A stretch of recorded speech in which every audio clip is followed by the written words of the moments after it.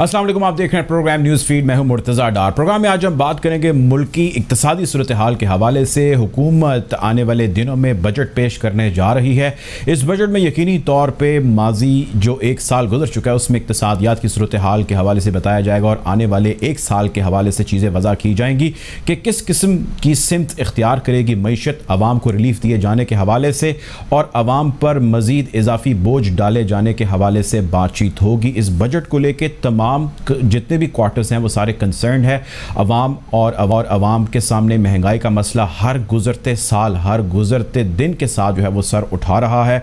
ये किस हद तक अवाम दोस्त बजट होगा, इस पर भी बात करेंगे और इस मरतबा जो हिस्सा मिलेगा सूबों को और सूबे जो उसके हवाले से बजट पेश करेंगे, उसकी भी तफसील में जाने की कोशिश करेंगे और ये भी समझने की कोशिश करेंगे कि हुकूमत जो अपने एदाद शुमार गुजशत कुछ अरसे में बता रही है, जिसमें करंट अकाउंट के अंदर सरप्लस हो जाना पैसे का और साथ ही साथ जीडीपी में चार परसेंट इजाफा हो जाना या चार परसेंट के लगभग इजाफा हो जाना और अगले साल में इसको पाँच परसेंट पर ज़्यादा देखना। इसका ताल्लुक रियलिटी से कितना है? आईएमएफ क्या कह रहा है? वर्ल्ड बैंक क्या कह रहा है? और बाकी स्टेटिस्टिक्स इस हवाले से क्या इंडिकेट कर रहे हैं? इसको भी आज के प्रोग्राम में समझने की कोशिश करेंगे। जी है क्या? इसका आम शख्स पे या आम शख्स की ज़िंदगी से कितना ताल्लुक है, ये भी जानने की कोशिश करेंगे। गुफ्तु का बाकायदा आगाज़ करेंगे, अपने मेहमान करेंगे। प्रोग्राम में हमें ज्वाइन कर रहे हैं डॉक्टर महमूद खालिद साहब। माहिर इकतसादियात हैं। Welcome to the show sir ये बताइए सर ये जो बजट मुमकिन तौर पर हुकूमत देने जा रही है आने वाले कुछ दिनों में, आप क्या फोर्थ सी कर रहे हैं कि क्या हो सकता है और किस चीज़ पर गवर्नमेंट प्राइमरली जो है वो फोकस करेगी? बिस्मिल्लाहिर्रहमानिर्रहीम थैंक यू वेरी मच आपने मुझे इनवाइट किया इस प्रोग्राम में। आपने बहुत अच्छा तफसील से डिस्कस किया कि जो बजट है, वो बेसिकली गवर्नमेंट की आने वाली जो प्रायोरिटीज़ या पॉलिसीज़ होती हैं, उसका एक फाइनेंशियल लेआउट होता है या उसका तखमीना होता है। तो जो आने वाला बजट है इसमें हमें दो चीज़ों के बारे में मतलब मद्देनजर रखना बहुत ज़रूरी है कि हम इस वक्त आईएमएफ के प्रोग्राम के तहत हैं। और दूसरा जो हमारी फ़िज़िकल पोजीशन है उसमें बहुत ज़्यादा हमारे लिए रूम नहीं है। हम्म। और आपको मतलब जिस तरह आप तो करंट अफेयर्स के साथ बहुत इन टच है कि हमारी जो इकॉनमी है वो पेंडेमिक जो हमारा पिछले साल गुजरा है उससे अभी रिकवर उसने किया। हम्म। तो हम ये समझते हैं कि आने वाला जो बजट है इसमें गवर्नमेंट के पास बहुत ज़्यादा रूम अवेलेबल नहीं है लेकिन साथ साथ उनको कुछ सेक्टर्स के ऊपर एक्स्ट्रा फोकस भी करना पड़ेगा कि ताकि जो इस साल की उनकी ग्रोथ है हम्म। उसको वो आने वाले वक्त में कंटिन्यू कर सके ठीक है अच्छा अब ये बताइएगा सर कि इसमें जो आम शख्स है आवाम है उसको रिलीफ दिए जाने के हवाले से गवर्नमेंट को किन सेक्टर्स पे काम करने की ज़रूरत है आम शख्स इस चीज़ को लेके सिर्फ़ इसलिए कंसर्न होता है, वो ये जान सके कि इस बजट में मेरे लिए कौन सा नया तोहफा है जो आने वाला है बिल्कुल आपका क्वेश्चन बजा है कि आवाम के लिए इस बजट के हवाले से क्या चीज़ें देखना ज़रूरी तो इसमें जो सबसे पहली चीज़ मेरे ख्याल में जिसके बारे में गवर्नमेंट को बहुत ज़्यादा ख्याल करना चाहिए कि इनका जो पब्लिक सेक्टर डेवलपमेंट प्रोग्राम है। उसकी डायरेक्शन किस तरफ़ रहेगी? क्योंकि हमें आने वाले वक्त में जो सबसे बड़ा प्रॉब्लम मैनेज करना है वो हमारी यूथ के लिए जॉब्स का है या नौकरियों का है। हम्म। जो मौजूदा गवर्नमेंट है उसने बहुत सारी पॉलिसीज़ अनाउंस की हुई हैं जैसे कंस्ट्रक्शन सेक्टर के लिए है। उसके बाद इन्होंने एक्सपोर्ट सेक्टर में काफ़ी रिलीफ जो है प्रोवाइड किया है। लेकिन साथ ही साथ हमें इस चीज़ के ऊपर भी तवज्जो देनी पड़ेगी कि हमारा जो पूरा डेवलपमेंट बजट है जिसको हम पब्लिक सेक्टर डेवलपमेंट प्रोग्राम को देख कहते हैं उसकी डायरेक्शन प्योरली टुवर्ड्स ग्रोथ होनी चाहिए हम्म। जब हम ग्रोथ की तरफ़ फोकस करेंगे तो आने वाले वक्त में हम जॉब्स के थ्रू आम जो हमारे लोग हैं उनको हम प्रोटेक्शन प्रोवाइड कर सकते हैं उनकी लाइवलीहुड्स के हवाले से हम्म। तो मेरे ख्याल में जो सबसे क्रूशल एलिमेंट है वो पीएसटीपी है दूसरी साइड पर टैक्सेस के हवाले से हमारे पर बहुत ज़्यादा बोझ है आईएमएफ की तरफ़ से हमें प्रेशर है कि हम अपने रेवेन्यूज को इंक्रीज करें। एफपीआर के हवाले से उन्होंने टारगेट जो रखा है वो तकरीबन थर्टी परसेंट ग्रोथ का है। मेरे ख्याल में इस चीज़ को बजट में नहीं मतलब है कि अप्रूव किया जाना चाहिए। हमारी जो ऑन एवरेज टैक्सेस की ग्रोथ है वो तकरीबन कोई 12 से लेके 14 परसेंट के दरमियान रही है पिछले सालों में। हम्म। बहुत ज़्यादा भी अगर आप इसमें इंक्रीज करें तो इसको 15 परसेंट तक लेके जाया जा सकता है लेकिन 30 परसेंट के करीब बिल्कुल नहीं लेके जाना चाहिए। और लास्ट चीज़ जो हमारी एनर्जी से रिलेटेड टैरिफ रेट्स हैं हम्म। उनके हवाले से कोई भी ऐसी पॉलिसी के जिसके अंदर जो मौजूदा स्ट्रक्चर है उसको रिवाइज करके आवाम के ऊपर अगर बोझ डालने की कोशिश की जाती है मेरे ख्याल में वो काफ़ी प्रॉब्लमेटिक हो सकता है अच्छा डॉक्टर साहब, ये बताएँ कि अब हमने ज़िक्र सुना जब ये गवर्नमेंट पावर में आई, वैसे हर गवर्नमेंट जब भी पावर में आती है, वो एक नारा ज़रूर लगाती है, लेकिन इस गवर्नमेंट ने ज़रूरत से ज़्यादा नारा लगाया। उन्होंने कहा कि जी, हम हर शख्स से टैक्स इकट्ठा करेंगे। यानी कि वो टैक्स नेट बढ़ाने की बात करते हैं। ज़रा आप मौजूदा रियलिटी चेक दें, ज़रा हमारे नाजरन को उन्हें बताएँ कि हमारा टैक्स नेट है क्या? यानी कि टैक्स कौन कौन से लोग हैं जो डायरेक्ट टैक्सेस दे रहे हैं, और कौन से इनडायरेक्ट टैक्सेस दे रहे हैं, और डायरेक्ट टैक्सेस से हम कितने पैसे इकट्ठे कर रहे हैं, और इनडायरेक्ट से हमें कितने पैसे इकट्ठे हो रहे हैं? फेलियर की तरफ़ चीज़ें बढ़ रही हैं। वो दावे थे बातें थी या ये सब इसके बरक्स से मामला नहीं अगर तो आप स्टेटिस्टिक्स के ऊपर जाएँ जिस तरह एफपीआर की रेवेन्यू परफॉर्मेंस देखें तो रिमार्केबली हम्म। कि हमारी इकोनॉमी ने पिछले साल भी इतना नहीं ग्रो किया और इस साल की भी जो ग्रोथ है उसमें लास्ट ईयर का जो हमारा एक होल्डअप था हम्म। वो शामिल है लेकिन हमारे जो टैक्सेस की ग्रोथ है वो बहुत अच्छी रही है as compare to the overall economic performance जो मैंने जैसे आपसे कहा कि दो साल की एवरेज है हम्म। ये बात आपकी बिल्कुल वजह है कि उसमें शायद जो हमारा मेजर शेयर है वो इनडायरेक्ट टैक्सेस का है और इनडायरेक्ट टैक्सेस में भी हमारी जो ज़्यादा रिलायंस है वो कस्टम ड्यूटीज़ के हवाले से है क्योंकि उसके बारे में हमें पता होता है और वहाँ से हमारे भी टैक्स कलेक्ट करना आसान है हम्म। तो ओवरऑल जो टैक्सेशन पॉलिसी है उसके अंदर हमारी इंप्रूवमेंट की गुंजाइश बिल्कुल मौजूद है हम्म। लेकिन अगर आप आउटकम के हवाले से देखें यानी कि जो उन्होंने रेवेन्यू कलेक्शन की मतलब फिगर दी है ये बहुत अच्छी सब्सटेंशियल है।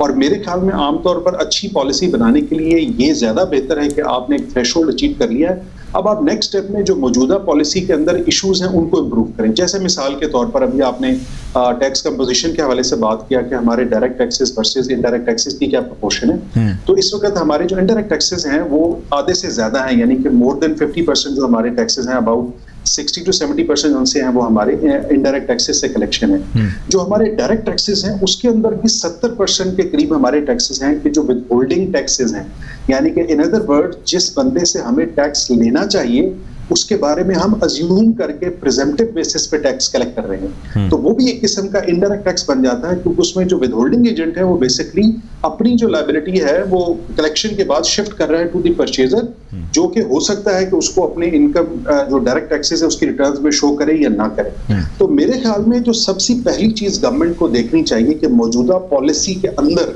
इम्पेडिमेंट्स हैं बिजनेसेस के लिए इंडिविजुअल्स के लिए उसको इम्प्रूव करें हम्म। जैसे मिसाल के तौर पर पाइट में हमने एक छोटा सा एनालिसिस किया कि जिसमें हमने ये देखा कि कितने ऐसे टैक्सेस हैं कि जिनकी कलेक्शन मिला के one percent of the total collection है जैसे डायरेक्ट टैक्सेस के हम्म। हवाले से हमने देखा कि तकरीबन कोई तीस के करीब ऐसी टैक्स लाइंस हैं कि जो मिला के पूरे जो हमारे टैक्सेस डायरेक्ट टैक्सेस है उनका सिर्फ़ एक परसेंट कंट्रीब्यूट करती हैं हम्म। तो अगर उनको हम खत्म भी कर देते हैं तो हमारा तकरीबन कोई 30 से 40 बिलियन का लॉस है टैक्सेस में हम्म। लेकिन उसकी वजह से जो इकोनॉमी के अंदर बढ़ोतरी आ सकती है क्योंकि जितना पैसा आप टैक्स के ज़रिए क्रेडिट कर रहे हैं उससे ज़्यादा उनको कंप्लाइंस में देना पड़ता है हम्म। वैसे एक विदहोल्डिंग एजेंट है उसको ना सिर्फ़ टैक्स में पैसा देना पड़ता है बल्कि साथ ही साथ उसको डॉक्यूमेंटेशन और रिटर्न्स फाइलिंग के लिए भी रिसोर्सेज एलोकेट करने पड़ते हैं हम्म। इसी तरीके से इनडायरेक्ट टैक्सेस में जो हमारे जनरल सेल्स टैक्स है तकरीबन कोई फोर हंड्रेड के करीब हमारी ऐसी टैक्स लाइंस हैं कि जो टोटल सेल्स टैक्स का वन परसेंट से कम कलेक्ट करती हैं तो अगर इनको हम for the time being relax भी कर दें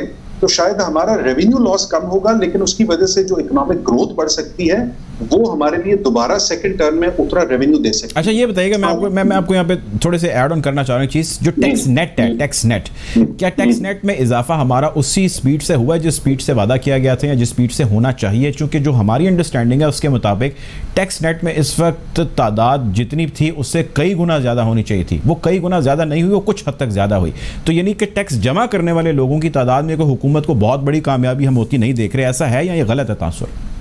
अच्छा पहली तो मैं जो ये मिथ है टैक्स नेट वाली इसको मैं थोड़ा सा चाहता हूँ कि आवाम तक बात क्लियर हो जाए। देखें हमारी इकोनॉमी में हर बंदा टैक्स दे रहा है। हम्म। मसलन आप मैं अगर मोबाइल का एक कार्ड परचेज करते हैं तो उसमें हम टैक्स देते हैं। हम्म। अगर हम मार्केट से कोई भी चीज़ कंजम्पशन के लिए परचेज करते हैं फाइलर, फाइलर है। जो फ़ाइल फाइलर है। एग्जैक्टली जो ये इशू है कि जो लोग टैक्स दे के उसके बाद अपनी जो उनकी अपनी क्योंकि ये वॉलंटरी कंप्लायंस होती है रिटर्न्स के लिए वो गवर्नमेंट को बताएँ कि जी हमने देखे इतना टैक्स दे दिया है जबकि हमारी एक्चुअली लाइबिलिटी इतनी बनती थी वो बहुत कम रहे हैं हम्म। और उसके अंदर भी अगर आप उसकी डिटेल देखें तो आधे से ज़्यादा ऐसे लोग हैं कि जिन्होंने अपनी इनकम को ज़ीरो डिक्लेयर किया हुआ है हम्म। तो मेरे ख्याल में जो आपकी डॉक्यूमेंटेशन पॉलिसी है उसके अंदर return filing through increase in withholding taxes जिसमें फाइलर नॉन फाइलर की डिस्टिंक्शन है शायद इतनी ज़्यादा इफ़ेक्टिव नहीं रही है। हम्म। उसकी बजाय हमें स्ट्रिक्ट कंप्लाइंस के ऊपर जाना चाहिए। तो सर ये स्ट्रिक्ट कंप्लाइंस आपके ख्याल से क्यों नहीं हो पाता? जो बड़े मगरमच्छ हैं देखिए अवाम तो इसके अंदर आ, किसी तरह आती है या किसी तरह नहीं आती है वो अवामी मसला है वो एक सतह तक है। लेकिन जो बड़े बड़े मगरमच्छ हैं जिनके पास millions and billions of rupees हैं अगर वो टैक्स नेट का हिस्सा नहीं है फाइलर नहीं है और हुंडी के ज़रिए पैसा ट्रांसफ़र होता है और टी के ज़रिए चीज़ें इधर की उधर होती हैं और मनी लॉन्ड्रिंग हो रही है तब तो टैक्स नेट में फिर वो ना आ सके जो असल शिकंजा था जो असल टारगेट असल हदफ था। मैं आपकी बात से बिल्कुल एग्री करता हूँ और मेरे ख्याल में गवर्नमेंट की शायद पॉलिटिकल विल का प्रॉब्लम है कि जिसमें जो जब भी कोई इस किस्म की वो पॉलिसी अडॉप्ट करने की कोशिश करते हैं तो उनको बहुत ज़्यादा रेजिस्टेंस होती है। And because of the political reason वो ये समझते हैं कि शायद हमारे लिए ये मुनासिब जैसे मिसाल के तौर पर आ, हम्म। हमारा एक ट्रैक एंड ट्रेस सिस्टम है। ट्रैक एंड ट्रेस सिस्टम का मतलब है कि जो भी हमारी प्रोडक्ट अगर किसी फैक्ट्री से निकलती है तो एंड हम्म। यूज़र तक एफ़ को ये पता होगा कि इसके ऊपर टैक्स पेड है या नहीं पेड हम्म। वो अभी तक हम इम्प्लीमेंट नहीं कर सके दोबारा उसके ऊपर लिटिगेशन हुई है पॉइंट ऑफ़ सेल्स पे जब हमने रिटेलर्स के लेवल के ऊपर टैक्स लगाना जो पूरी दुनिया में होता है वो हम अभी तक मैनेज नहीं कर पाए क्योंकि उसमें ट्रेडर्स की तरफ़ से बहुत ज़्यादा रिस्ट्रिक्शन है हम्म। तो मेरे ख्याल में अगर गवर्नमेंट इस बार थोड़ी सी एक पॉलिटिकल विल जिसमें कंसेंसस हो तमाम पार्टीज़ का उसको साथ आगे लेके चले और एक चीज़ सिर्फ़ इंश्योर कर लें कि जो हमारा आईडी कार्ड है इसको एक नेशनल टैक्स नंबर का दर्जा दे दिया जाए और जितनी भी मेजर ट्रांजेक्शन हैं हम्म। उसमें ये इन्फोर्स कर दिया जाए कि हम इसको यूज़ करें तो हमारे पास अब ऐसे थर्ड पार्टी डेटा बेसिस हैं कि जहाँ से एफपीआर के पास इंफॉर्मेशन रियल टाइम आ सकती है और उससे इसकी जो कंप्लाइंस है, ये जो आउटकम है, वो काफ़ी हद तक इंप्रूव हो सकता है। आपको याद होगा सर, जब गवर्नमेंट आई थी, इस किस्म के कुछ मेजर्स लेने की कोशिश की गई थी। फॉर एग्जांपल कि जी, आम दुकानदार या कोई भी उसके पास जाएगा, ख़रीदारी करेगा पचास हज़ार या उससे ज़्यादा लिमिट की तो उसको अपना आईडी कार्ड देना होगा, उसको पूरा अपना लेजर दिखाना होगा, सारी तफसीत उसको आगाह करनी होगी। तो लोगों ने खसूस हमारा जो बिज़नेस कम्यूनिटी है, उन्होंने at a very initial stage इस चीज़ को रिजेक्ट किया। उन्होंने कहा, जी, हम कोई आई कार्ड नहीं देंगे, ना अपना देंगे, ना बायर का देंगे, ना सेलर का देंगे और ना ही हम कोई आप लोगों को ऐसी इन्फॉर्मेशन देंगे। एक लंबा हमने एहतजाज देखा प्रोटेस्ट देखा और उसके बाद गवर्नमेंट हैड टू सरेंडर और अब आप देखिए, ऐसा कोई इम्प्लीमेंटेशन नहीं हो रही, कोई चीज़ नहीं ऐसी हो रही। Business community is one of those communities जिस पे सबसे ज़्यादा हम टैक्स कलेक्शन की तरफ़ बढ़ सकते हैं या हम उसका रिकॉर्ड रख सकते हैं। तो फेलियर तो फिर अगेन गवर्नमेंट के पार्ट पे हुआ। नहीं मेरे ख्याल में देखिए गवर्नमेंट इट बहुत सारे डिसीज़न इसलिए नहीं ले सकती कि हमें एक ऐसी इकोनॉमी के अंदर सर्वाइव करना है कि जिसमें हमारी एक्टिविटी भी चलनी चाहिए यानी कि हम ग्रोथ को बहुत ज़्यादा रोके ना हम्म। और साथ साथ हमारे रेवेन्यू टारगेट्स भी मिस हों समटाइम्स ये होता है कि अगर आप कोई एक ऐसी जो सी पॉलिसी ले आते हैं कि जिसकी वजह से हमारे बिजनेसेस चोक हो जाएँगे, कि जिस तरीके से इनिशियली ट्रेडर्स ने ये फील किया कि अगर हम अपने जो बायर्स हैं या जो कस्टमर्स हैं, उनकी बहुत सारी इंफॉर्मेशन एफ़ को शेयर करने की कोशिश करेंगे तो उसकी वजह से हमारे बायर्स भी कम हो सकते हैं। प्लस जो एक रिकॉर्डेड इकोनॉमी है, वो उससे हटके इनफॉर्मल इकोनॉमी की तरफ़ जा सकते हैं। तो मेरे ख्याल में थोड़ा सा हमें मोड को इम्प्रूव करने की ज़रूरत है। जिस तरीके से भी मैंने आपसे कहा कि पॉइंट ऑफ़ सेल्स के ऊपर अगर हमारी एफबीआर की प्रोवाइडेड मशीन्स होंगी तो वो ऑटोमेटिकली रियल टाइम में जो डेटा एक खास कंजम्पशन के लेवल के हवाले से हम उसमें कोई रख सकते हैं थ्रेशोल्ड हम्म। कि जैसे मिसाल के तौर पर अगर हमारा कोई भी आइटम ऐसा है कि जो 50,000 प्लस की अमाउंट में परचेज किया जाता है उससे रिलेटेड किसी न किसी एक इंडिविजुअल का आईडी कार्ड नंबर शो होना चाहिए।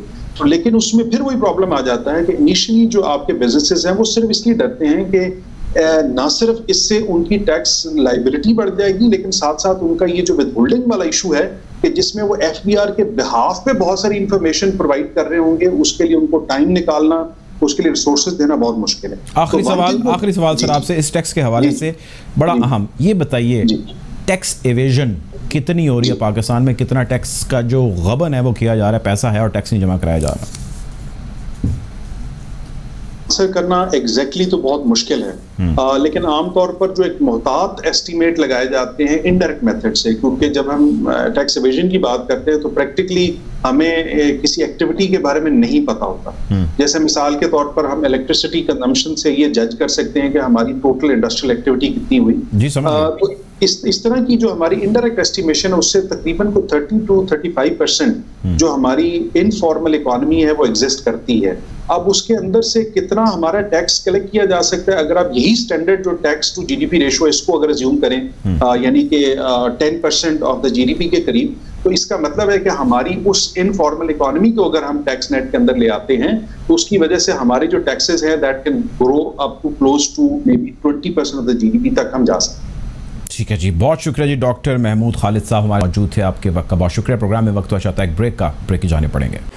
Welcome back after the break program में हम बात कर रहे हैं आने वाले बजट के हवाले से कि बजट क्या आवाम दोस्त होगा या हुकूमत का ही दोस्त ठहरेगा। प्रोग्राम में हमें ज्वाइन कर रहे हैं मुजम्मिल असलम साहब इकोनॉमिस्ट हैं। Welcome to the show Muzammil sahab. Sir आने वाले बजट के हवाले से क्या फोर्थ सी करें, क्या देख रहे हैं आवाम दोस्त? समझ रहे हैं होगा या नहीं होगा? देखिए जी आवाम दोस्त अब थोड़ा सा उम्मीद कर करी जा सकती है कि होगा हम्म। उसकी बुनियादी वजह यह है कि हुकूमत के पास एक तो फ़िज़िकल स्पेस भी बनी है और एक एक्सटर्नल स्पेस भी बनी है हम्म। हुकूमत के इस वक्त तेईस अरब डॉलर के करीब जो है जर मुबादला के ज़खायर हैं करंट अकाउंट सरप्लस में है और साथ साथ जो है इनका रेवेन्यू जो है, जो फंसा हुआ था बिल्कुल दो साल से, और उसकी एक प्राइमरीली वजह ये भी है कि आप कोविड था। उसमें भी हमने देखा कि थोड़ी सी जिद्दत आई है और नौ माह में चार हज़ार एक सौ सत्तर अरब रुपये कलेक्ट हो गए चार हज़ार सात सौ अरब का टारगेट है और चार हज़ार सात सौ अरब रुपये मुझे लगता है कि ये उससे ज़्यादा होगा, कम नहीं होगा। और अगले साल ये कॉन्फिडेंस दे रहा है क्योंकि अब जीडीपी भी जो है चार फ़ीसद तो ऑफिशियल आ चुकी है। हमारे हिसाब से पाँच फ़ीसद के करीब है। अगले साल जो है इस जीडीपी में भी जो है इसी तरीके की जो है जिद्दत रहेगी। तो अगले साल मजीद इनको टैक्सेस मिलेंगे। अगर पाँच हज़ार आठ सौ अरब रुपये का टारगेट रखते हैं और वो हासिल कर लेते हैं तो इनको 1100 अरब रुपए फालतू मिलेंगे।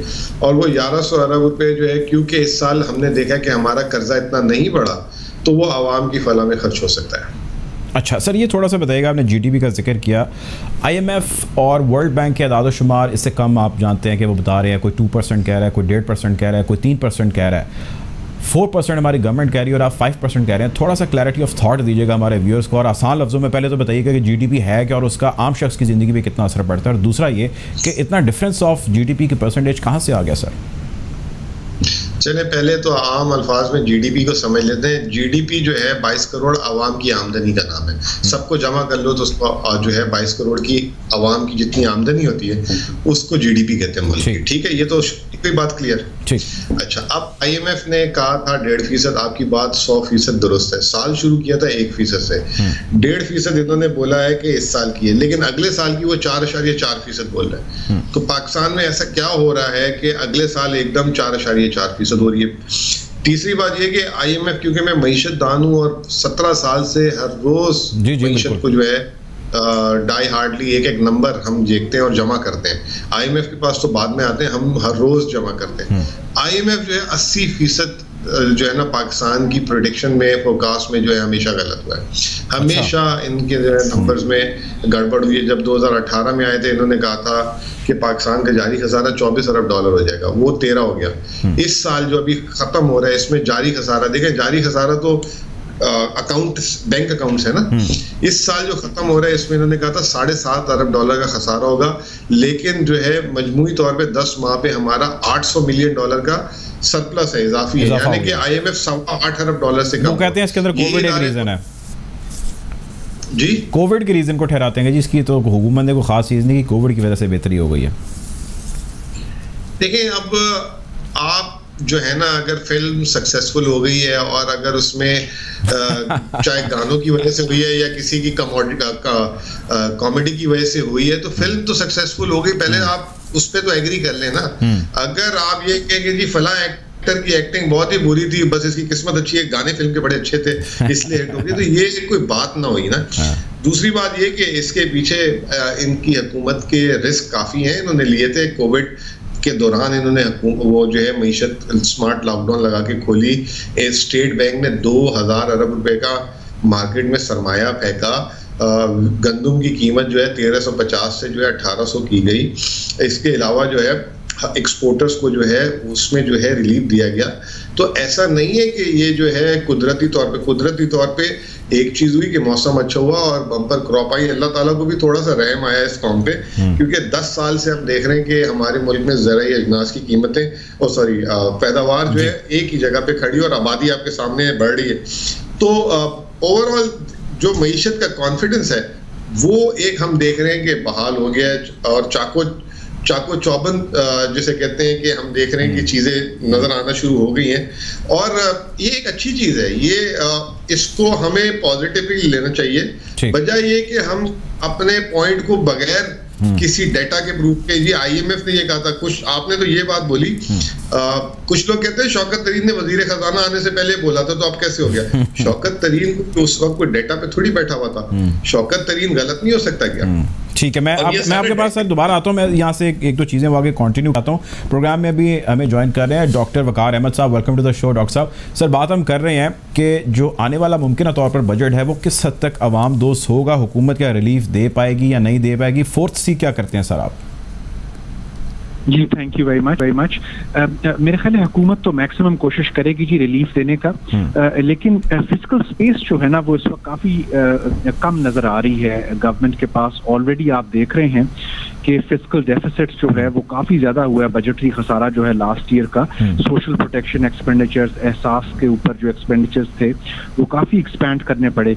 उसी रेट से एक्सपैंड करना अगले बजट में या उस रेट से सोशल प्रोटेक्शन को कंटिन्यू करना शायद पॉसिबल ना हो क्योंकि अगर आप फंड प्रोग्राम में वापस जा रहे हैं तो शायद आपको अब उतना ज़्यादा बजटरी खसारा जो है वो अलाउ ना करे फंड ये एक बात है। हम्म। दूसरा ये है कि जहाँ से गवर्नमेंट थोड़ा सक्सेसफुली डेवलपमेंट एक्सपेंडिचर को इंक्रीज कर सकती है खास तौर पे पूरेस्ट ऑफ़ द पुअर गरीब तरीन तबके पे जो खर्चा करना है उसको एक्सपेंड कर सकती है। वो ज़ाहिर है improvement on the tax side जो हमने आखिरी दो क्वार्टर्स में देखा है टैक्स साइड पे इम्प्रूवमेंट जो है वो काफ़ी इंकरेजिंग रही है। एफबीआर ने ग्रोथ शो की है। अगर ऐसी ही ग्रोथ जो है वो अगले आने वाले दो तीन क्वार्टर्स में शो हो तो फिर ज़ाहिर है कुछ फ़िज़िकल स्पेस जो है वो इम्प्रूव होती है हम्म। और आखिरी चीज़ जो है वो जरा थोड़ी सी डिफ़िकल्ट है जहाँ पे गवर्नमेंट खुद रीअप्रोप्रिएट कर रही होती है और जहाँ पे अननेसेसरी एक्सपेंडिचर्स हैं या जहाँ पे कोई शाह खर्चियाँ हैं उनको कट करके जो है अपने प्रायोरिटी प्रोजेक्ट्स की तरफ़ ले जा रही होती है हम्म। उसमें of course size of the government जो है वो इस वक्त बहुत बड़ा है और हमारी एक रिकमेंडेशन ये रही है कि ओवरऑल गवर्नमेंट के साइज़ को कम किया जाए और वहाँ से काफ़ी जो है वो मिनिस्ट्रीज डिपार्टमेंट्स को मर्ज किया जा सकता है वहाँ बहुत स्पेस है और वहाँ से आपके पास फ़िज़िकल स्पेस क्रिएट हो सकती है to spend on the poorest population जी ठीक है। अच्छा सर, ये बताइए, आपने एफ़ के इंडिकेटर्स का ज़िक्र किया कि वो बेहतर शो कर रहे हैं कलेक्शन हुई है। टैक्स नेट का थोड़ा सा ज़रा हमें आम लोगों को, हमारे व्यूअर्स को समझाइएगा कि एक तो फाइलर वाला जो मामला है, उसमें हुकूमत ने आने से पहले यकीनन बहुत सारे दावे किए कि जी हम टैक्स नेट बढ़ाएँगे, लोग आएँगे फाइलर होंगे। ये बात मैं अपने शोज़ में बार बार पूछता हूँ, मैं जानता हूँ कि आप भी इसके बारे में कमेंट करें। टैक्स नेट में हम कितना इजाफा कर सके और कितने बड़े मगर मच्छों को और मछलियों को हम इसके अंदर ला सके कि जी वो फाइलर बने और अपने टैक्स जमा कराएँ जो इतनी मिलियंस की और इनकी प्रॉपर्टीज़ हैं और जायदादें हैं, जो एसेट्स हैं। जी। नहीं, ये ये ये काफ़ी चैलेंजिंग काम रहा है गवर्नमेंट के लिए। इनिशियली ऑफ़ कोर्स आपने देखा होगा कि 2019 के अंदर कुछ सक्सेस भी हुई और फाइलर्स की तादाद जो थी वो काफ़ी सिग्निफिकेंटली इंक्रीज हुई। लेकिन कोविड के बाद जो है वो गवर्नमेंट ने उस तरीके से जो स्ट्रिक्टनेस थी या उस तरीके से फर्मनेस जो थी उस तरफ़ जो है वो नेचुरली नहीं दिखाई क्योंकि आप टैक्स रिलीफ की तरफ़ आपको जाना था दो हज़ार बीस के फ़िज़िकल ईयर के लिए। लेकिन अब हम दोबारा देख रहे हैं कि वाइडनिंग ऑफ़ टैक्स नेट पे काम हो रहा है और दोनों साइड पे टैक्स इवेजन को भी कम करने पे और टैक्स अवॉइडेंस को भी कम करने पे।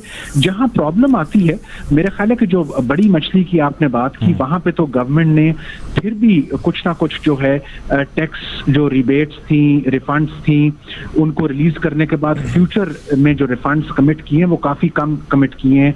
का, वो काफ़ी सारे वो सेक्टर्स जो ज़ीरो रेटेड होते थे अब वो नहीं है ज़ीरो रेटेड अब उनको भी टैक्स देना जो है वो पड़ता है। लेकिन जहाँ पे गवर्नमेंट को को चैलेंज है वो ताजर बरादरी से है। हम्म। तो आपका जो wholesale and retail trade sector है चाहे वो फॉर्मल में हो चाहे वो कसीर तादाद में इनफॉर्मल से हो वहाँ से जो ड्यू टैक्स शेयर है हम्म। वो कलेक्ट नहीं होकर आ रहा। अब वहाँ पे आया उसकी क्या वजह है पॉलिटिकल विल ना होना है या कोई और मसले मसाइल हैं जो आड़े आ रहे हैं क्या वजह है? हम क्यों नहीं कलेक्ट कर जी, पा रहे जी पहली बात तो बिल्कुल आपने सही कहा। बहुत स्ट्रांग पॉलिटिकल विल चाहिए क्योंकि इसका फिर बैकलैश आता है। हम्म। ताजर सड़कों पर भी लेटते हैं। हाँ अगर आप में वो स्ट्रॉन्ग पॉलिटिकल विल नहीं होगी तो आप नेचुरली बैक ट्रैक कर जाएँगे। लेकिन दूसरा जो इशू है वो एफबीआर के अंदर टेक्निकल कैपेसिटी का होना है। आपको वो वो केपेबल सिविल सर्विस चाहिए जिसके पास फोरेंसिक की कैपेबिलिटी हो कि इस ताजर से ना मैं मुझे ना पूछना पड़े कि जी आपका टैक्स कितना बनता है। मेरा अपना जो एल्गोरिदम है वो मुझे बता रहा हो कि इसके इस, इसका फोरेंसिक के तहत जो है ये टैक्स असेसमेंट बनती है। और फिर मैं उसको कह रहा हूँ कि जी आपकी ये बनती है आपने क्यों नहीं दिया? तो इस वक्त तो ये हो रहा है कि वो ताजर मुझे बताता है मैं उससे कहता हूँ कि नहीं यार ये थोड़ा सा आपने कम बता दिया ज़्यादा दे दो। इस वक्त तो बड़ा एक आर्बिट्री निज़ाम चल रहा है तो आपको अपनी वो जो सिविल सर्विस जो आपके टैक्सेशन के निज़ाम में है उसकी कैपेसिटी भी काफ़ी बिल्ड करने की ज़रूरत है। ठीक है जी बहुत शुक्रिया जी हमारे साथ डॉक्टर वकार सूरत की जाने बढ़ रही है गुफ्तु को मजीद आगे बढ़ाएँगे। प्रोग्राम में वक्त हो चाहता है ब्रेक का ब्रेक की जाने पड़ते हैं।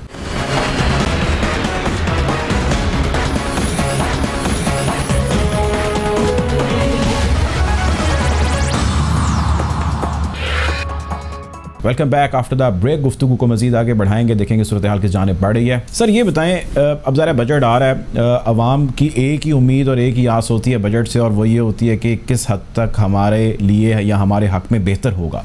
ये बताएँ अदर दैन दिस बजट इस वक्त जो हालात हैं, मैं कुछ स्टेटिस्टिक्स रखता हूँ जिसमें जीडीपी की ग्रोथ से लेके सरप्लस जो करंट अकाउंट है, उसका होना है। आम शख्स की ज़िंदगी पे इन अच्छे इंडिकेटर्स का असर क्यों नहीं पड़ा? क्योंकि आम शख्स का सवाल ये है कि हम अशिया खुरनोश लेने जाते हैं, वो आसमान से बातें कर रही हैं, पेट्रोल डलाने जाते हैं, वो महँगा हो रहा है, बिजली है, वो महँगी हो रही है, हम कहाँ पे जाएँ? ये बताएँ, आम शख्स की ज़िंदगी पे इसका असर क्यों नहीं पड़ा? और अगर नहीं पड़ा तो कब पड़ेगा? आपको मैं एक बात बताता हूँ कि जब से ये दुनिया बनी है हम्म। ये दुनिया में कभी भी इक्विटेबल डिस्ट्रीब्यूशन ऑफ़ इनकम नहीं हुई हम्म। ठीक है ना और आज तक जिन ममालिक में सोशलिज्म भी है उन ममालिक में भी मैं ये कह सकता हूँ दावे से कि इक्विटेबल डिस्ट्रीब्यूशन ऑफ़ इनकम नहीं हुई हम्म। तो ये कह देना कि जी पूरे मुल्क के लोग एक सारे के चौबीस के चौबीस करोड़ लोग खुशहाल हो जाएँ एक दिन में वो नहीं हो सके क्योंकि इकोनॉमी में एक का गेन होता है और एक का लॉस होता है। For hmm. एग्ज़ाम्पल मैं उसकी एग्ज़ाम्पल समझाता हूँ कि अगर मैं गंदम पिछले साल आटा पैंतीस रुपए किलो बेच रहा था और मेरी जो है आटा पैदा करने की जो कॉस्ट थी वो चालीस रुपए थी तो जो मेरे से खरीद रहा था उसका फ़ायदा था और जो बेच रहा था मैं उसका नुकसान था। आज इस साल अगर मैं आटा के जो है साठ रुपए किलो बेच रहा हूँ तो मैं फ़ायदे में हूँ और खरीदने वाला नुकसान में। तो ये मीशत जो है ना इसमें somebody's gain somebody's loss है। ठीक है ना? तो ऐसा नहीं हो सकता। इस साल अगर आप सर एक सेकंड मैं मैं तो मैं मैं, मैं यहाँ पे एक और सवाल जानना चाह रहा हूँ। सिर्फ़ मैं इसी इसी पॉइंट पे जाना चाह रहा हूँ। आप यकीनन इस बात में कोई दूसरी राय नहीं है कि किसी का फ़ायदा है किसी का नुकसान है। लेकिन पब्लिक एट लार्ज जो कंज्यूमर है जो एंड प्रोडक्ट लेती है आवाम, जिसको कहते हैं, उसकी उसकी नीड्स पूरी करना और उस तक इन्फ्लेशन का ग्राफ कम करना या फ़ूड इन्फ्लेशन का ग्राफ करना तो हुकूमत की अवलीन जिम्मेदारियों में से है। हम इसके अंदर ताजर तबके को, आड़त को या और बाकी जो है बिज़नेस कम्यूनिटीज़ को शामिल नहीं करते। आवाम इसके अंदर रिलीफ हासिल करना चाहती मैं उस पॉइंट ऑफ़ व्यू से चीज़ जानना चाहता हूँ नॉट बिकॉज़ ऑफ़ जो बीच में मिडल मैन है या बिज़नेस मैन है जो कमा रहा है। नहीं नहीं इसमें आप प्राइमरी प्रोड्यूसर को भी लिया है ना फार्मर तो उसको भी फ़ायदा हो रहा है ना अच्छी फ़सल का रेट मिल रहा है ना उसको। अठारह सौ रुपए गंदम का रेट उसी के लिए मुकर किया गया था हम्म। गन्ने का रेट उसी के लिए। ये अड़तीस फ़ीसद आबादी है पाकिस्तान की। ये कोई एक आध दो फ़ीसद नहीं है आबादी। अच्छा दूसरी बात ये है कि आप इस तरीके से देखें कि हमेशा से एक ट्रांजिशन होती है कि जब आपका इन्फ्लेशन का स्पाइक आता है तो उसको जो नेक्स्ट लेग होती है फॉलो करती है वो तनख्वाहें या आमदनी बढ़ने का होता है। ये आपके सामने बजट आ रहा है। इसमें हुकूमत जो है पच्चीस फ़ीसद अभी बजट से पहले तनख्वाहें बढ़ा चुकी हुई थी। अब मजीद दस फ़ीसद बढ़ाने की बात कर रही है। पंजाब में। रहा सवाल देखें जो मैं समझता हूँ जिनके साथ ज़िंदगी भर चौहत्तर सालों में जिनके साथ ज्यादती हो रही है वो इस साल नहीं वो है फिक्स तनख्वाहें लेने वाले शहर में लोग हम्म। सरकारी तनख्वाहें भी देखें कोविड था सब बंद हुआ किसी की तनख्वाह नहीं कोई फायर नहीं हो सकता सरकारी मुलाजिम जो तनख्वाह थी उनको मिलती थी सारा का सारा मलबा या टैक्स की शरह बढ़ती है तो ये प्राइवेट सेक्टर की जो तनख्वाहदार है, उन पर बढ़ती है। या अगर कभी कोई मुल्क में जो है माशी बुरान आता है तो वो अपनी नौकरियों से हाथ धोते हैं। ये वो सेक्टर है। अच्छा अब इसका हल सिर्फ़ एक ही चीज़ पे है। इसका हल ये है कि आप कंटिन्यूसली माशी ग्रोथ प्रोड्यूस करें। जब आप कंटिन्यूसली माशी ग्रोथ प्रोड्यूस करते हैं तो your labour will not be any more cheap जैसे चीन है अब अब चीन दुनिया में जो है कारखाने लगा रहा है क्योंकि उसकी लेबर बहुत एक्सपेंसिव हो गई। यूरोप उससे चीन में लगाता था हम्म। क्योंकि उसकी लेबर एक्सपेंसिव होती है। तो एक ही हल है इसका। ख्याल ये है कि विद ऑल द क्राइसिस और अब कोविड से भी अलहमदुल्ला निकलना शुरू हो गए हैं। जो मोमेंटम बना है मुझे लग रहा है अगला साल इससे भी बेहतर होगा। तो जो लोगों की जो इस वक्त जो ज़िंदगी के मामूलात हैं उसमें मैं ये नहीं कह रहा कि बहुत ज़बरदस्त हो जाएँगे लेकिन एक नॉच इंप्रूवमेंट आने के चांसेस हैं और हमसे बारे में नहीं आ रही चीज़ें। तो आपका जो है ट्रेड ऑफ़ था एक तरफ़ जो है आपका पैदावारी तबका था और एक तरफ़ आपका खाने पीने वाला तबका था। कि अब हमें उसके लिए मुसलसल माशी ग्रोथ को जो है एक ही एंगल है महँगाई तो कम तो कम नहीं होगी लोगों की आमदनी बढ़ानी और आमदनी सिर्फ़ एक तरीके से बढ़ सकती है। अगर हम जीडीपी ग्रोथ की एक परफेक्ट ट्रेजेक्ट्री पे आ जाए। ये बताएँ सर जॉब्स क्रिएशन के हवाले से क्या ग्रोथ सेक्टर पे काम करने से इसका कोई रिज़ल्ट निकल सकता है या कोई और भी गवर्नमेंट के पास पॉसिबिलिटी हो सकती है? ज़ाहिर है लोग बरसरे रोज़गार होंगे तो उनकी पावर ऑफ़ बाइंग बढ़ेगी या इनकम बढ़ेगी। देखें आपकी ना पॉपुलेशन हर साल क्योंकि यंग पॉपुलेशन है बहुत बड़ी पॉपुलेशन की जो तादाद है ना वो लेबर फोर्स में ऐड हो रही है। अब वो उसको आपने खपाना है। एक आपकी लेबर फोर्स में ऐड हो रही है जो गैर तालीम याफ्ता लेबर फोर्स है और एक है जो स्लाइटली तालीम याफ्ता है। तो आपके पास तीन सेक्टर हैं और जो मैं समझता हूँ इस गवर्नमेंट ने प्रॉपरली आइडेंटिफाई कर लिए हैं। एक एग्रीकल्चर है एक एसएमई सेक्टर और एक आईटी सेक्टर है। और ये चौथा कंस्ट्रक्शन है। इसके अंदर अगर आप जितनी जिद्दत लाएँगे उतना ज़्यादा जो है आपका रोज़गार के मौके आप की आवाम को मिलेंगे। ठीक है ये बताएँ सर आने वाले दिनों में आप क्या फोर्थ सी कर रहे हैं? राइट आफ्टर दिस बजट के क्या कोई पहला क्वार्टर होगा या टू क्वार्टर्स होंगे जिसमें कुछ रिलीफ मिलेगा? या 2023 से पहले कोई टाइम होगा जिसमें रिलीफ मिलेगा? कौन सा स्पैन है जो आप देख रहे हैं अवामी रिलीफ के लिए होगा? देखिए पहला तो रिलीफ मैं समझता हूँ कि वो जो है हुकूमत सरकारी मुलाजमीन को देने वाली है। दूसरा रिलीफ ये कि कुछ जगह पे जैसे आज एक जगह आ रहा था कि हुकूमत जो है छोटी गाड़ियों पे जो है ड्यूटी बहुत बड़ा कट मार देगी ताकि आम आदमी की दस्तरत में ये चीज़ आ जाए। इसी तरीके से हुकूमत जो है रॉ मटेरियल की कीमतें और ड्यूटीज़ को नीचे ला रही है ताकि मुल्क में ज़्यादा से ज़्यादा मकामी पैदावार हो। फ़सलें आपके सामने अच्छी आ चुकी हुई हैं। उससे एक चीज़ ये होगी कि अब मज़ीद महँगी नहीं होंगी चीज़ें, और वो यहाँ पे उस पर ठहराव आ जाएगा। अगर कीमतों में ठहराव आ जाता है और साथ साथ हल्की हल्की आमदनी बढ़ना शुरू हो जाती है तो लोगों की जो म्यार ज़िंदगी है, उसमें बेहतरी हो जाएगी, इंशाल्लाह। ठीक है, आखिरी सवाल सर ये कि जीडीपी का आपने ज़िक्र किया जिसमें फोर परसेंट ग्रोथ थी। ज़ाहिर इसके अंदर मल्टीपल फैक्टर्स हैं और सेक्टर्स हैं जिनका रोल है। हमने देखा कि कुछ अर्सा पहले हम ये बहस में थे कि क्या हमें इंडिया के साथ इंपोर्ट शुरू करनी चाहिए कॉटन की, कपास की, उस जाने बढ़ना चाहिए, नहीं बढ़ना चाहिए। ये बताइए कि इस इस मरतबा, इस जी के अंदर कहा जा रहा है कि जी बड़ा रोल है एग्रीकल्चर का। सो कुछ अर्सा कबल हम इस चीज़ के ऊपर बहस, मुबासे के अंदर मुबतला थे और खैर वो नहीं हो सका। और दूसरी तरफ़ एग्रीकल्चर का एक बड़ा रोल बताया जा रहा है जीडीपी ग्रोथ के अंदर। थोड़ा सा क्लैरिटी दीजिएगा, ये मामला था क्या और अब क्या है? देखिए, मैं ये समझता हूँ पाकिस्तान में जो महँगाई है ना, हमेशा से, वो उसकी एक बुनियादी वजह ये रही है कि जो है हमारे मुल्क में ज़रात ऊपर नीचे होती रहती है मौसम की वजह से। फिर आप ये देखें कि पिछले दो साल में जब भी हमारे मुल्क में ऐसा होता था तो पड़ोस ममालिक से हमें प्याज टमाटर इस तरह की चीज़ें आ जाती थी और कीमत इतनी नहीं बढ़ती थी। लेकिन जब से कश्मीर का मसला हुआ दोनों ने बॉर्डर क्लोज कर दिए।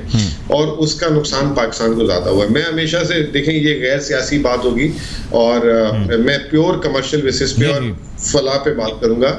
वो ये है कि देखें चीन और अमेरिका के कितने बड़े मसाइल हैं। चीन और इंडिया के कितने बड़े मसाइल हैं। इन्होंने कभी तिजारत नहीं रोकी क्योंकि उन्होंने मीशत को जो है अपनी अना से ऊपर रखा है। हमारा मसला ये कि हम अपनी अना को मीशत से ऊपर रखते हैं। जो जिसका खुमियाजा हम एक जज्बाती कौम है एक हमें जज्बात पे ला के फैसले कराए जाते हैं ब्लैकमेल किया जाता है कभी कश्मीर कभी किस पे कभी किस पे। जिसकी हमें जो है हम अभी इस काबिल नहीं हुए कि हम चल सके। और हम जो है जो है लड़ाई करने चले जाते हैं उनसे जो दौड़ सकते हैं। तो या तो हम चलने फिरने के काबिल हो जाएँ तो फिर हम ये इस तरह के जो है फैसले लें। आ, लेकिन बहरहाल हमने इस डेढ़ साल में खुद मुख्तारी की तरफ़ आना शुरू कर दिया है। ये एक अच्छी खबर है लेकिन हमें जो है अना को जो है ना मीशत से यकीन अना को साइड में रख के हमें करना चाहिए बात क्या आपकी मैं समझ गया लेकिन सवाल मेरा ये है कि कुछ अर्सा कबल यानी कुछ ही महीने कबल हम ये बहस में थे कि हमारे पास कॉटन नहीं है हमारे पास कपास के अंदर मसले मसाइल हैं तो हमें इम्पोर्ट करनी चाहिए। तो ऑल ऑफ़ सडन हमारे जीडीपी में इस सेक्टर का किस तरह रोल एक बड़ा हो गया कि ये तो ग्रोथ की तरफ़ चलने लगी? यानी थोड़ी देर पहले हम बात कर रहे थे कि हमें इम्पोर्ट करनी चाहिए अब हम कह रहे हैं कि इसने बड़ा कॉन्ट्रीब्यूट किया। ये मैं चाह रहा था कि आप इस पर जवाब दें। नहीं नहीं नहीं हमने ये नहीं बोला। हमने ये बोला है कि पाकिस्तान की छह क्रॉप्स हैं कैश क्रॉप्स जिसमें कपास के अलावा पाँच क्रॉप्स बम्पर आई हैं। जब पाँच बम्पर आए और एक लॉस में हो तो आपने नेट नेट ज़्यादा ही पैदावार की है कम नहीं की। दूसरा आपने दो अरब डॉलर की कॉटन इंपोर्ट की है। जब आपकी चौदह मिलियन बेल मुल्क में पैदा होती थी उस वक्त भी आपकी जो एक तिजारत चौबीस पच्चीस अरब डॉलर थी। इस साल आपके सिर्फ़ साढ़े पाँच मिलियन कॉटन बिल आई है। और आपका एक्सपोर्ट का जो है बिल ऑल टाइम हाई पच्चीस छब्बीस अरब डॉलर पे जा रहा है। ठीक है। ठीक है जी, बहुत शुक्रिया जी, मुजम्मिल असलम साहब मौजूद थे, प्रोग्राम का वक्त ख़त्म हो जाता है। पाकिस्तान में जल्द ही आप ख़बरें देखेंगे टेलीविज़न स्क्रीन पे भी, जिसमें बजट पेश करेगी हुकूमत। उम्मीद हम ये करते हैं कि ये बजट और शायद ये ज़िम्मेदारी भी हुकूमत की है कि ये बजट वो आवाम दोस्त रखे, ताकि लोगों को इंस्टेंट रिलीफ मिल सके। फ़ूड इन्फ्लेशन और प्राइस हाइक के ऊपर कंट्रोल करना हुकूमत वक्त की अशद ज़रूरत है। बहरहाल, हम आपको इस हवाले से अपडेट रखेंगे। अब तक के लिए इतना ही, अल्लाह हाफ़